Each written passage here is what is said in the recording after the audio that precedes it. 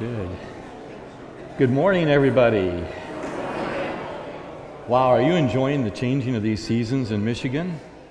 I was looking at the forecast this week. I think we have an 82 high for one day and a 48 for another day. So, welcome to Michigan. And the changing of the seasons is such a neat time to watch the colors beginning to show their flavor and be reminded of the one that created the world is the one that created each of you and created us. And it's overwhelming when you think about that.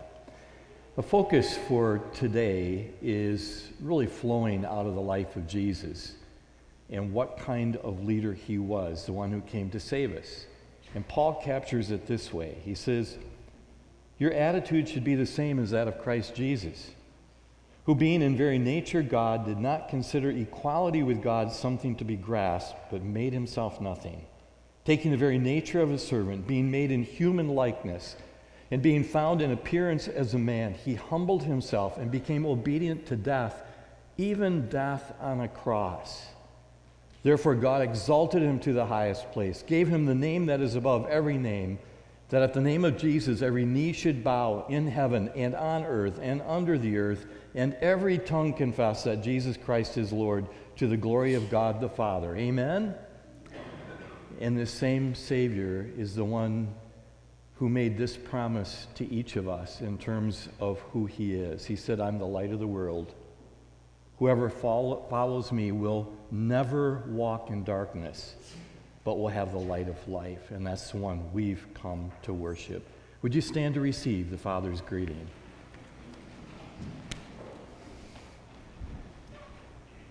Our Creator, our Father, greets us grace to you and peace from me, your dad.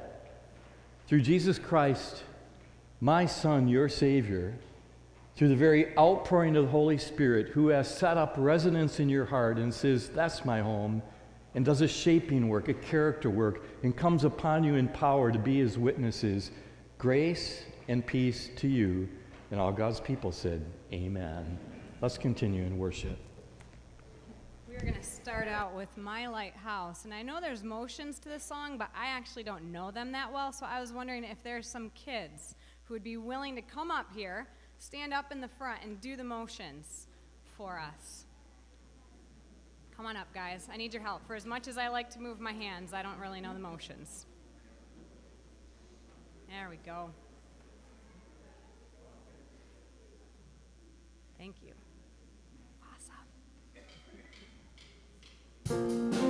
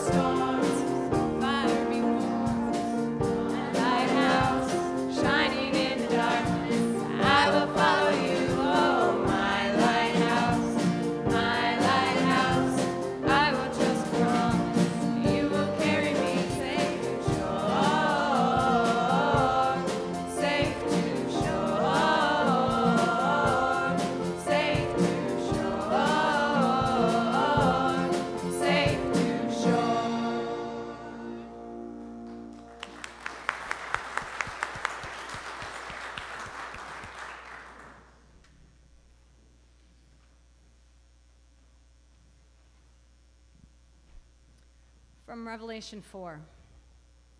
In the center, around the throne, were four living creatures, and they were covered with eyes in the front and in back. The first living creature was like a lion, the second was like an ox, the third had a face like a man, and the fourth was like a flying eagle. Each of the four living creatures had six wings and was covered with eyes all around, even under its wings. Day and night they never stopped saying, Holy, holy, holy is the Lord God Almighty, who was and is and is to come. Whenever the living creatures give glory, honor, and thanks to him who sits on the throne and who lives forever and ever, the 24 elders fall down before him who sits on the throne and worship him who lives forever and ever. They lay their crowns before the throne and say, You are worthy, our Lord and God, to receive glory and honor and power. For you created all things, and by your will they were created and have their being.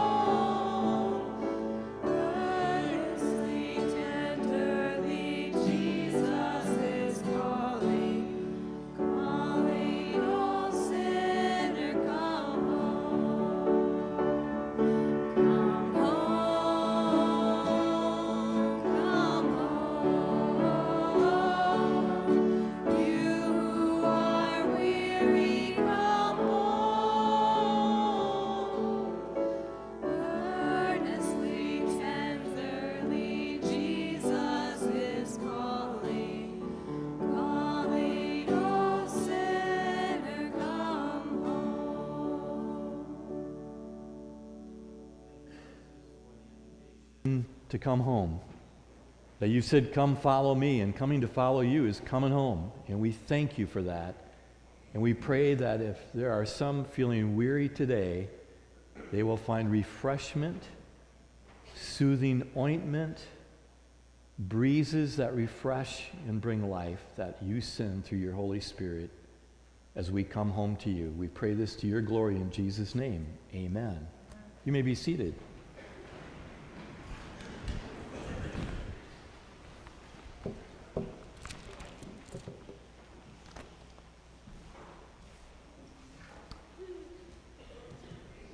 So, as I've said the last month or so, Matthew chapter 5, and we'll continue to hang out there for coming weeks. I continue to have my antenna up to literally every facet of the world in which we live in, at least in our Western culture, especially in America that has little to do with be, but has everything to do with do. Just do it. Just do it well. Just perform. Just be great. A simple thing like Art Prize. I love the creativity. I love the arts. I love watching how God takes people and what they put together in a creative way that's astounding and impacting. And yet, only a few people get the big prize because somehow others voted and said they did it right. And so the challenge in the world becomes doing it right. So I'm on the road yesterday and I'm listening to football games. And I'm not a football person, but there wasn't much else on. And it's all about doing. What's the quarterback doing? What's the kicker doing? What's the coach doing? What is everybody doing? And in the end, did we win? And by we, what does it mean? Because quite honestly, it doesn't matter whether I'm a Michigan fan or a Michigan State fan or an Ohio State fan or whoever it is. If my team wins, I didn't have anything to do with playing the game. I didn't take one catch. I didn't throw one ball. I wasn't even allowed on the field. Security would make sure of that but it becomes about the do. And just looking on Facebook this week, I had a little post that came along. I have no idea where it came from, but it even raised my antenna up a little bit more. And it, my paraphrase, it was something like this It was So when you think about life, you need plumbers, you need people to clean the restrooms at McDonald's, you need people to cook the food and to serve it, you need cashiers, in some places at the store. That's slowly going away. You need people to take care of your yard. You need people to, and you go down the list of all the people you need. But rarely do we recognize that they are so valued and important because our whole focus is on those who are up front performing. And we really, none of us don't need a quarterback we really don't need a movie star. We really don't need a star musician. We need people who add value, and that flows out of being. So that's kind of the context out of which I go back to here in these core values for kingdom living as Jesus invites the disciples to go deeper, as he had just invited them to come and follow a few verses back. And in time, I'm not sure if that was a few days or a few weeks. But here they are ready to step in and find out what does it mean to follow Jesus. And he begins with these core values. And here we are again, I'll read from Matthew chapter 5. As Jesus saw the crowds, he called the disciples to him. They were in that inner circle. They got the front row seats. They were going to have firsthand watch and look not only at the teaching, but at the life of Jesus that would mirror every one of these teachings that we find in the Sermon on the Mount and in the Beatitudes. And here's what he said Blessed are the poor in spirit, for theirs is the kingdom of heaven. Blessed are those who mourn, for they will be comforted. Blessed are the meek, for they will inherit the earth. Blessed are those who hunger and thirst for righteousness, for they will be filled. Blessed are the merciful, for they will be shown mercy. Blessed are the pure in heart, for they will see God. Blessed are the peacemakers, for they will be called sons of God. Blessed are those who are persecuted because of righteousness, for theirs is the kingdom of heaven. And blessed are you when people insult you, persecute you, and falsely say all kinds of evil against you because of me. Rejoice and be glad, because great is your reward in heaven, for in the same way they persecuted the prophets who were before you. Blessed are the meek, for they will inherit the earth. So, what image comes to your mind when you think about the word meek? Not a word we often use in our vocabulary. But here it is. Even in a word search in Scripture, not a word that showed up very often, a couple of times in a word search. But blessed are the meek. So you're an employer and you're ready to do a job interview with a person who's filled out an application. And as you glance through their references, you note that there was a comment made by a former boss that said, Brad was a good worker and meek. So you're about ready to meet Brad. Is that reference something that would have you see Brad as strong or weak? Decisive or wavering? Confident or intimidated? And what in the world are you looking for to fill the job? Or you're walking by a group of people and you hear your name and you know they're talking about you. Anybody ever have that? It's like, oops, and all at once the crowd goes quiet. It's, it's kind of interesting. In my first church up in Iowa, there was this little town that everybody would gather in for coffee from the Lutheran church and the Christian Reformed church and the Catholic church. And, and Pastor Tom over at the Lutheran church and I would often meet up at the coffee shop. And we would often notice a silence when we walked into the coffee shop together at 9 a.m.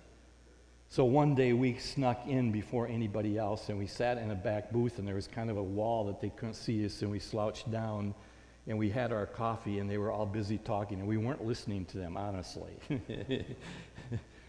but when we stood up, when we were done with our coffee, it was like there was no voice. so, what about somebody who's maybe talking about you and you hear them say, you know, Linda's a really meek person. Is that a compliment or is that something derogatory? Is it something you value or is it something that is kind of like, I don't want to be a meek person. I want to be a quarterback, and I can't play a quarterback if I'm a meek person. And I can't be a leader in a company if I'm a meek person. And I probably won't make a very good parent if I'm a meek person because I'll just enable all my kids to do whatever they want because I won't stand up to them. And the list goes on and on in our preconceived idea of what is it like to be meek. Would you dislike or like a meek person? Would you marry a meek person? Would you trust to follow a meek person? Would you follow a meek person into battle? it gets a little bit more intense there. Because the conception we often have, and what I grew up in, was meek must be weak. There's something that's a flaw in you. Meek is kind of mousy, whatever that means. meek is spineless. Meek is nice, but it's not bold. Meek people don't take a stand, they just step back because they're meek. And it's within that context I dig in a little bit deeper and I open my dictionary on my computer and I type in meek, and here's what came up most often in today's culture and meaning of the word meek deficient in courage. Would you follow somebody deficient in courage? I mean, it seems odd to me in our culture to hear Jesus say, Blessed are the deficient in courage, the cowardly, the spineless. So it's good that we don't go down that road. That's not at all what Jesus was saying. in the Greek, and I'm not a Greek scholar, so I depend on others who are Greek scholars to kind of dig in and tell me what the word is saying. There are a couple of meanings in classical Greek for the word meek, and it's actually in Greek the word praos, P R A O S, just a simple word. And literally, it means gentle or mild or tender. Gentle or mild or tender. And it can be described in a couple of different ways. One is sort of like a soothing medicine or a gentle breeze. I mean, when your throat is sore and burning up and scratchy, you need some soothing medicine, right? You get a burn on your hand and you're headed for the ointment that'll cool it down because you need a soothing ointment that will come along and calm down the intensity of the pain that's there. I like that word, praos. I need soothing ointment physically and emotionally and spiritually in every avenue of my life. And not only is it a soothing ointment, but it's like a gentle breeze. And I love a gentle breeze. Remember in our trip to Israel, we went to the waterfall of En Gedi and we're standing under the water, and our rabbi says, You better really enjoy this because later today you're going to be wishing for this waterfall. So consider it a blessing from God. Later that day, we were hiking out in 115 degree weather. It was a three water bottle journey out. That's how we could tell how far we were going to go. And we're just out in this place that is deathly quiet in the wilderness. It's like a desert. It is hot. It is dry. It is awful climate wise. And then out of nowhere, as the rabbi was sharing a scripture about God being the one who brings refreshment, out of nowhere comes this little gentle breeze that wisps over us, and we all kind of go, because it felt so good. And it was like, how did he do that? but there was just that evidence of the Spirit at work reminding us of what this gentle breeze was like. And I believe kingdom people that Jesus is calling the disciples to be, and that he was the one who showed them what it was like by his actions. Those kingdom people are like that. They are soothing ointment and gentle breeze. And I really need that. I mean, when I stop saying the right thing and begin confessing the real thing, I need a gentle breeze and a soothing ointment.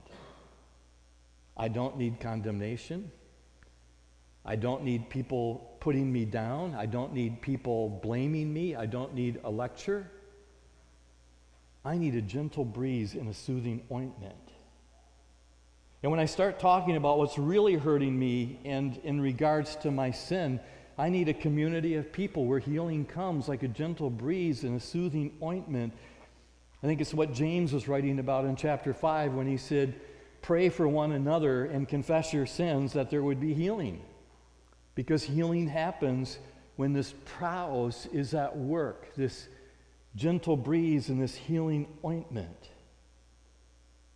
And when we stumble and when we fall and we're hurt and we can't come up with the right answers, blessed are the meek who come to our side. These are the kingdom people. So that's one application of the word. The second application in the classical Greek is the taming of wild animals. And you may say, what? So I'm, I'm reminded of all the backpacking I did when we lived in Montana and spent time in Colorado doing backpacking. And there were times we'd come upon an area where there would be wild horses. And we would just sit on the side of the mountain looking down at the valley and watching the wild horses run around randomly, beautifully, powerfully, playing with each other, just galloping around and having a hilarious time. And yet, when you look at those wild animals, those wild horses, they were really worthless. They couldn't pull a plow, nobody could ride them. All they could really do is eat up your crop or eat up your grass or hang out in your area. and rough up the ground. And what they really needed was somebody who would break them. And that's what would happen with wild horses when you take a horse in and you put that bridle in the mouth for the first time and you begin to train it and you begin to teach it how, how, to, how it feels when somebody gets on your back and what happens when you are pulled to the left or pulled to the right or you're told to stop and you listen to the voice commands and there's a breaking that happens that doesn't take away any of the power of the horse. The power hasn't gone from that horse. Still 100% of the energy and the strength, but there's something that comes under control, and it's really power under control that flows out of this word meekness. Meek is a powerful word, under control. It isn't derogatory, it isn't slamming people. It isn't pushing them down or putting them away or being discriminatory toward them. It's somebody who has experienced the brokenness that comes when we've gone our own way and understood that we have to surrender to the one who created us and has a plan for us and a future for us. And I think about the breaking that happens in our lives. It's needed so much. I think about Jacob a few weeks ago when we just visited briefly how he was ready to cross over the brook Jabbok and go to see his brother Esau, and he wrestled all night with a figure that we have seen in Scripture to be the one who created him. And in the end, he walked away with a limp and he had battled hard, but there was something that took place in which there was a brokenness, but a reminder that his God was the one who loved and was watching out for him. And sometimes our mourning takes place. Our grieving, and we're going back a couple of weeks, but it's a part of the flow of what happens in these teachings of Jesus. There can be mourning over a long hidden sin. How much of my life did I lose by living in that sin and just keeping a cap on it because I didn't want others to know about it? And now I'm free and I don't have to carry that weight around and I don't have to tell lies to cover up the lies that I was telling about the lies. I don't have to remember all of that. There's a freedom. And it could be that it's just being filled with bitter, angry thoughts about somebody who wronged you. And that can come in really quickly in today's culture. I, I wrestle with it when somebody wrongs me. There's a part of me that wants to get back at them. I'm going to teach them a lesson. And that's really an inflammatory part of the culture that we live in that seems to be getting even more divisive. If, if you don't believe the way I believe, you're going to pay a price, and you better watch out for me. And we've lost this power under control it isn't that we're going to find in just a moment, it isn't that we just roll over and we're limp and we're spineless, because that tamed horse is not limp and that tamed horse isn't spineless either. But when we have the control that comes, and the control isn't you, the control is the Holy Spirit at work in you. The control is the Holy Spirit doing a work in you as you often hear me say in the greeting, a shaping work in your life is the Spirit at control, giving you all the fruits of the Spirit, which you get when you become a follower of Jesus. And as all those fruits are there the love and the joy and the peace and the patience and the loving kindness and the goodness and the faithfulness and the gentleness and the self control it's all there. And the Holy Spirit is at work doing this work to help control a broken human culture and a broken human person in a society that is all about doing and all about you and making sure you're on top of the mountain and other people are getting pushed out of the way. There is this power under control that also begins to have us experience what it is to have compassion. It's when somebody else experiences something that you've experienced. And many times you can look at a report in the newspaper and you may look at it and just, oh, that happened. Oh, look, somebody died there. They had an auto accident. They hit a tree. If you have a relative that's ever been killed in a car crash, all at once that article reads a whole lot different and your heart goes out to people in ways that otherwise it doesn't go out. There's a gentleness that comes out at that moment. For blessed are those who mourn, they will be comforted. And when we go down into brokenness and mourning, I think we come up meek. We come up with compassion. I know when I was broadsided by that drunk at age 17 and the fought to keep me alive, I still, to this day, when I hear a siren, I instantly go to prayer. I have no idea what's going on, but there's this instantaneous reminder of what happened back there so many years ago. And I think it's a part of that work of the Spirit in which you intervene and you intercede and you don't know who it is or what it is. And you also know there's emergency workers who are going to have to take care of a scene that you won't want to be in the middle of to take care of somebody. Awful things that they have to walk through and yet there's this, this desire that God would intervene, and you're there listening for the lead of the Spirit, and you're interceding on their behalf, and there's a compassion that begins to pour out in your life. And ultimately, what we need in our lives to be there is a touch of God's Spirit. And I think there's a breaking that happens when that takes place, that we finally give up control to do, or we give up control to do so that we can be at the top of the mountain, or we can be at the top of the company, or we can be at the top of whatever it is in our social circle. circle. But we surrender to the reality. We surrender to the reality that God has given us the Holy Spirit to guide us and direct us and lead us to the left and lead us to the right and to stop us at points and to put blinders on our eyes from the distractions that are around us. If we go back to that whole issue of a horse going down the road and the needs that come along the way will, I believe, be a part of rising to the top our compassion level at that point and caring for them because the care of the law that Jesus gives is called love. So meekness is power under control. And at the same time, when we think about power under control, you think about Jesus and the way that he interacted with those in his life because it isn't like you roll over and you don't speak the truth in love. But Jesus, who said, I'm gentle and humble in heart, Matthew 11 29, he's like this gentle breeze and he's like this soothing medicine for those who have been beaten and battered and he's demonstrating this meekness.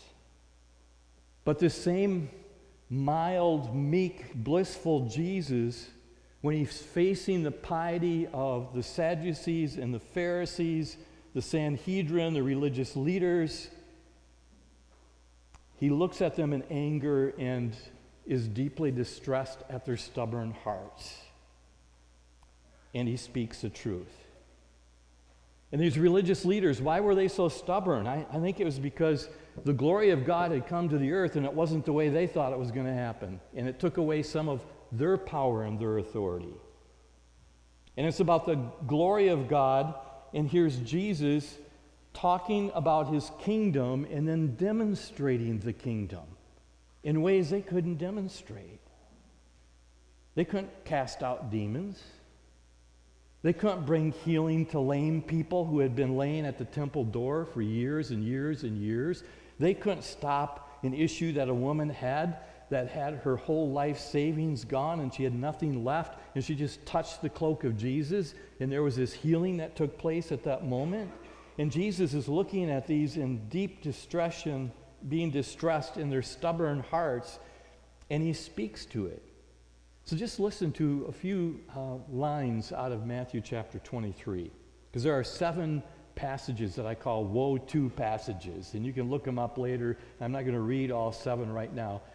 But here is Jesus, who we see to be our meek and humble Savior, soothing ointment, and a comforting breeze that comes along, who also is stepping out and speaking the truth in love. And here's what he has to say in Matthew 23, verse 13 Woe to you, teachers of the law and Pharisees, you hypocrites! You suck the kingdom of heaven in men's faces. You yourselves do not enter, nor will you let those who enter who are trying to. You close the door. Woe to you, teachers of the law and Pharisees, you hypocrites! You travel over land and sea to win a single convert, and when he becomes one, you make him twice as much a son of hell as you are. Can you imagine saying that to somebody that you're, you know, speaking to in religious leadership? Woe to you, blind guides! You say, if anyone swears by the temple, it means nothing, but if anyone swears by the gold of the temple, he is bound by the oath. You blind fools, which is greater, the gold or the temple that makes the gold sacred? Woe to you, teachers of the law, you hypocrites! You give a tenth of your spices, mint, dill, and cumin, but you have neglected the more important matters of the law justice, mercy, and faithfulness, and you have practiced the latter without neglecting the former. You blind guides, you strain out a gnat but swallow a camel. And you can keep reading. That's boldness. It's truth in love, it's power under control. And Jesus is really saying, I hate it when people use my name to shut the door to the kingdom of God. And for some people, that's what's happened when they've entered in to a place that has become religious and is more about legalisms, like in the day of Christ, and I think it can happen in today's world. So I was thinking back as I was getting ready for this and kind of marinating it.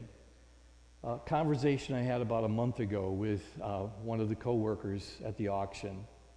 And, uh, and one day he just shared with me a tender moment. Um, he said, You know, uh, I know you're a minister, and I, I have to tell you, I don't have a real high regard for ministers or churches. And, and so I'd like to talk to you about why and see how you react.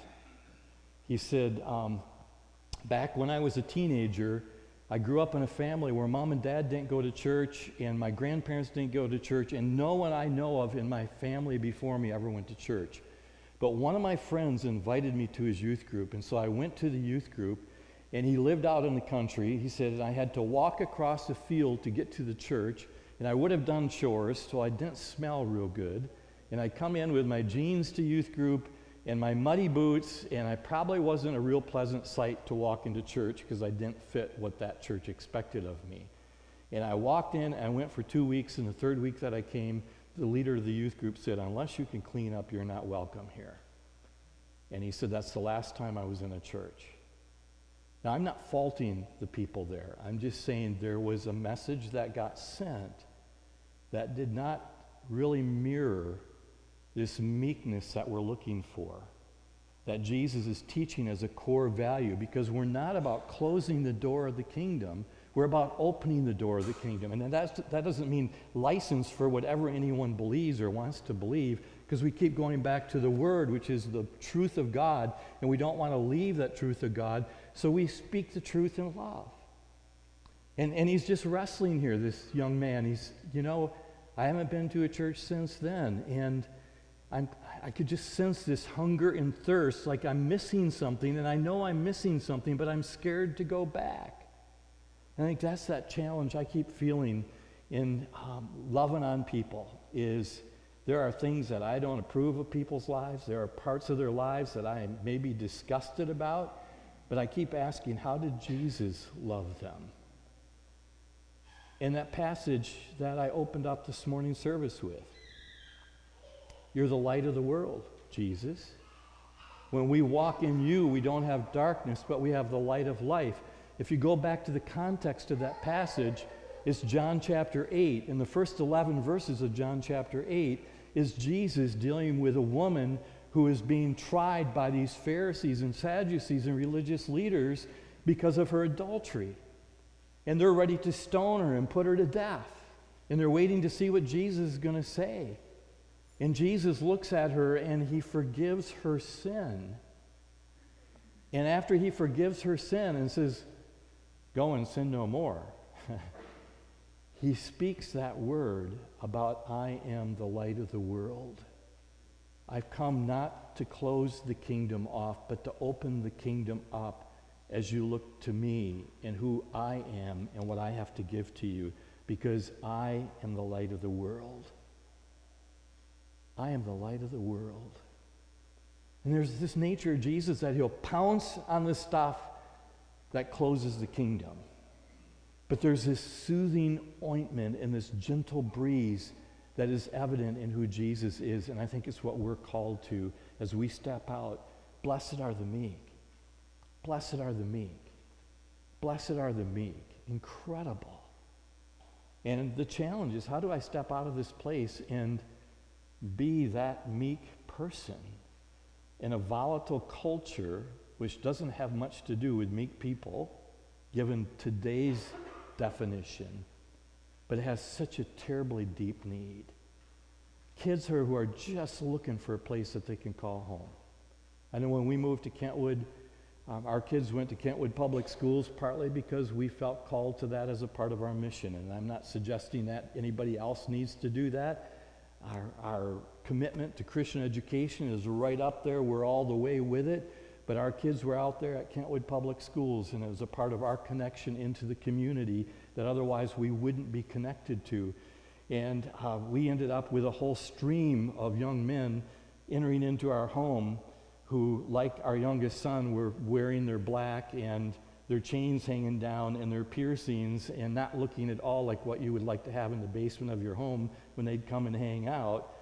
But it's where they came and hung out. And what I found out about all these kids is the way they were dressing and the way they were living. They were just screaming out, Will somebody love me? Will somebody take care of me? Will somebody pay attention to me? And it was an incredible lesson as we watched that unfold and, and felt so overwhelmed because we couldn't begin to meet all the needs that these kids had. And yet it gave a glimpse into that hunger that there is out there. And that's just one facet of culture. I don't care where I go. A lot of times, people who overperform are overperforming because inside there is so much that is weak and shattered and broken, and they'll do anything in the world to cover it up because they don't want anybody to see it, and they live a life of captivity when what they really need is the freedom that comes through this soothing ointment, through this gentle breeze, through this controlled by the Holy Spirit. And it begins with the word surrender. It begins with surrendering and saying, I want the life that comes through Jesus. And I believe it begins, number one, with, we know theologically, the Holy Spirit doing a work in their lives that opens a heart up already to receive it. So, who in my life do I need to be praying for that needs to experience the gentle breeze and the soothing ointment? Who needs to come to that point? Not that I'm judging them, but I'm seeing them in misery and they're hungry and thirsty. We'll get to that next week. And in that hunger and thirst, God has put them in relationship with you. And He's put them in relationship with me. And why are they in relationship with me? Because they need a relationship with Jesus, not with me. But I can become to them those arms and that hand and that smile and that encouragement with all those fruits of the Spirit, along with the gifts that God might come along and speak a word of knowledge that I get to bring to them and say, I'm just sensing that God may have this for you. And we stand next to them. And there's a hunger and thirst to be a part of community because they want to be a part of Jesus.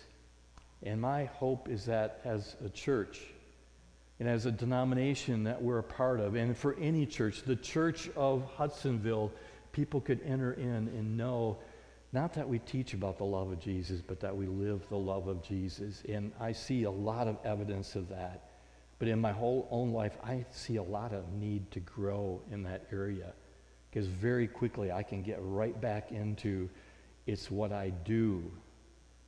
And God says, I'm just pleased that you're my child. I'm so pleased you're my son. You're my daughter. I love you. I love you. I love you. And Jesus is right there saying, Come follow me. Come follow me. And a concluding thought.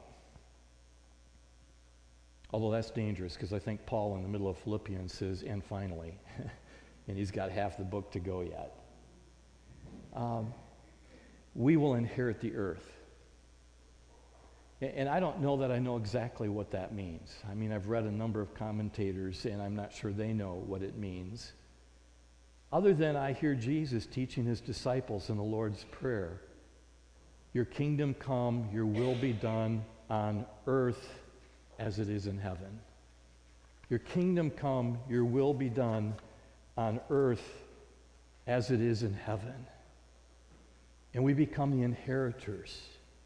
And what we inherit is when we follow Jesus and the Holy Spirit is doing this work of poor in spirit and our mourning and our being meek and the mercy and hunger and thirst after righteousness. And the list continues. As the Holy Spirit is doing that work, it impacts how we live life in the world today. It impacts the earth that God has placed us to come in and have dominion over. And we understand that at sin we relinquished so much to the enemy, but now we're called in because the enemy's been defeated. And in this time of tension of the kingdom already here but not yet fulfilled all the way, we get to come in and we have a role in God bringing the reality of his love right here on earth to the people he put us in relationship with.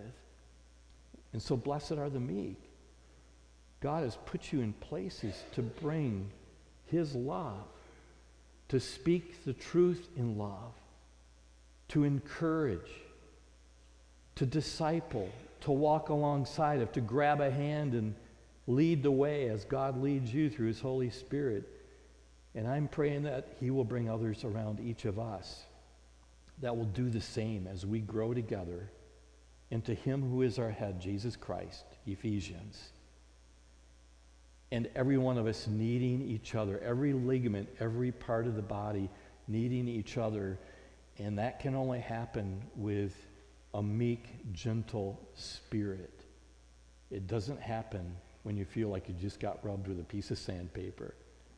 And so may God use us to be such a people.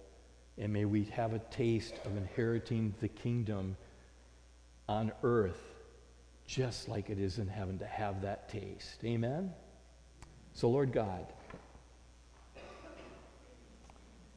I want to thank you for the promise that we receive that there's a blessing to those who are poor in spirit.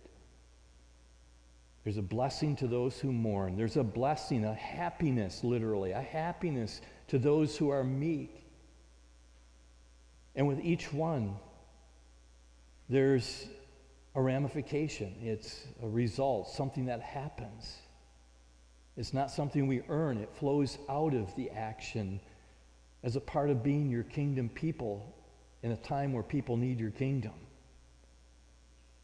And we thank you that we get to inherit the earth, that you have given us a place on the earth to serve you, to impact lives, to be in relationship with others You've given us a, a relationship not to be preachy or judgmental or uh, to build rules about how we'll decide whether we love you or not, but to love unconditionally as you loved. And I pray that as we grow deeper in our following you, that you would continue to do a work that has us increasingly thirsty for more and even in a, in a week, as we prepare for communion, Lord God, that, that there would be a time to surrender and let go of some of the stuff we've been holding on to, let go of all of it that you revealed to us, that we could even come and say, Holy Spirit, will you show me the junk I need to get rid of? Because it's eating away at me and it's keeping me from being a meek person. It's keeping me from tasting what it is to inherit the earth and to know the peace that comes and the time of mourning and Lord God, would you come and do that work through your Holy Spirit? And will we find great release as we bring it to you? And if we need to confess to another that you would give us a brother or a sister that we have a relationship with that we could go to and we could spend time emptying the junk out and knowing that there is somebody there who's receiving it with a soothing medicine and a gentle breeze. And may through it all we experience your unconditional love. To you be the glory. In Jesus' name, amen. Um, something that I want to share with you guys really quickly. It was from a devotional that I read last week. And this next song is one of my favorite songs. And while I was sitting there, I thought, oh, this ties in perfectly with what I read this week, and it, and it really hit me. So I want to just read it really quickly. And it's about, um, about strength and weakness. It says, When He, God, strengthens us, it is not by taking away the sense of weakness and giving in its place the feeling of strength. Not at all. The weakness and the strength are side by side. As the one grows, the other does too. Until his disciples understand the saying, When I am weak, then I am strong. I boast in my weakness, that the power of Christ may rest upon me. And then later it says, This person lives a truly joyous and blessed life, not because he is no longer weak, but because being utterly helpless, he consents and expects to have the mighty Savior work in him. And that really struck me that as my weakness grows, his strength in me grows. And I thought, man, I want my weakness to grow. Like, I want to become weaker and weaker because I would much rather have his strength in me than my own strength. So just meditate on that as we sing this next song.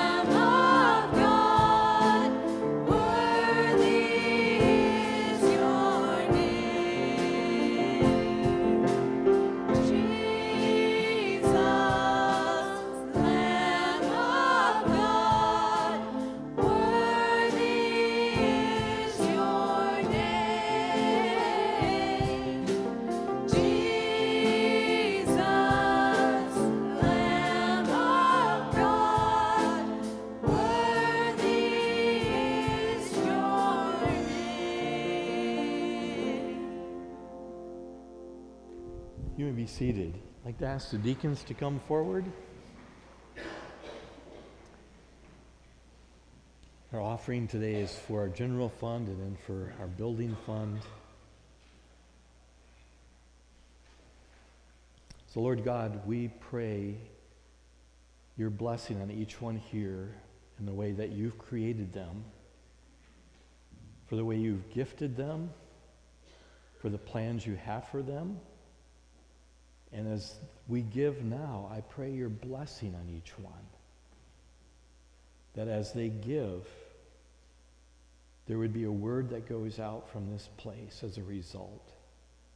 A word that speaks of your love, a word that demonstrates your love, a word that is tangible and real and goes deep and brings freedom. And that's why we give to you, Lord. May you get the glory in Jesus' name. Amen.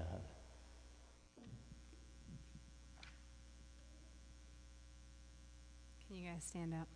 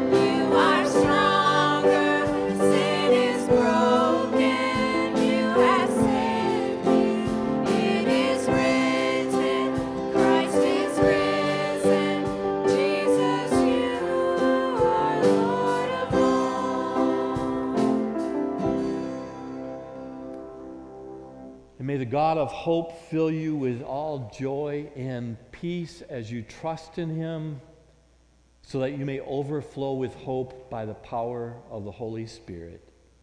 And all God's people said, Amen. Go in peace to love him and to serve him.